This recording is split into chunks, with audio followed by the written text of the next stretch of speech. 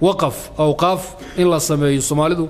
Hadday soo barbaranayaan waana hawl aad iyo aad u qiimo badan shareecadeenna ku ammaanan dhaqanna uu ku jiro nolol ay sii jiritaanna uu ku jiro. Caalamulislaamina xilligii gumaystayaashu ay soo duulen ilahay ku badbaadiyay haddana waa la baabi'iyey. Raggiinana xoogoga haysta ee soomaalida. Haddii aad awqaaf ummadu u samaysa wax baan baa badbaadi lahaa. Haddii la sameeyo meel laga maalgeliyo laga fangariya agoonta gabdhaha garoobada ah dadka indhowlayaasha ah curyaamada faqiirkaan ahalka lahayn dadka isbitaallada intay ku dhintaan wax lagaga saara la waayayo xabaalaha muslimiinta muslimiinta hore ninbaa wuxuu sameynaya dhulal dhanoo intaasu ekar buu bixinaya. Iyo wixii ka soo baxu xuliya waxaa iskale khaas qof kastoo miskiino dalka waddan magaalada yimaadoon ahal lahayn indhowlayaasha wax lagu baro. Guryaha la dhisi cimaarado wixii ka soo baxa loo samaynayo nin maamulo oo ku bixiya faqiir.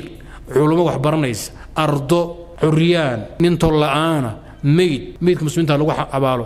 Kafanka besaha lagu iibiyo ninbaa waqfahaya sadaqa jaariya hadda xoogo waad soo kacdeenoo masaajidda waxaad ku bixisaan iyo ceelalaad qodaan iyo guri waalid inta loo dhisa iyo hadda waad soo baranaysaa. Hawshaa muhiim jiddan wey dadka muslimiinta masaakiinta ee keliyaha laga hayo mashiin keliyaha loogu sifeeyo in yaroo klinig intaad furtaan mashiinaha aad keentaan masaakiinta maal kasta ka istaaga masaajidda ee keliyihii baa iga fadhiya bilba isbuucii laba goor baa lay dhaqaa halkaasay u baxsan lahaayeen. Saddex ganacsadaa ku filan oo dhowr boqol isku dardara khayrku meelo badan buu yahay laakiin waa inaad aragtay u baahan tahay kadibna ilaahay uu ku waafajiyo waxaa la yidhi tuke il uu caana ku arkuu leeyahay ayaan uu ku dhama ma laha. Yaa tuke waxaa la yidhi il uu caana ku arkuu leeyahay ayaan uu ku dhama ma laha. Dhiil caanaha lisi meel baad tuka xagga arki waaq waaqu soo duuli. Dhiilku rabaa caanaha ka dham qarku kaga istaaga gambalaa ridahaya intuu dhulka istaaga aayo dhuuqi maaye dhiilkiibu dhihi isku taago qar kaga istaagaya caanina waa daateen. Shaqooyin yar yarood qaban kartaan oo miskiin kalkaal ah oo ilaahay raalli ka yahay baa buuxa.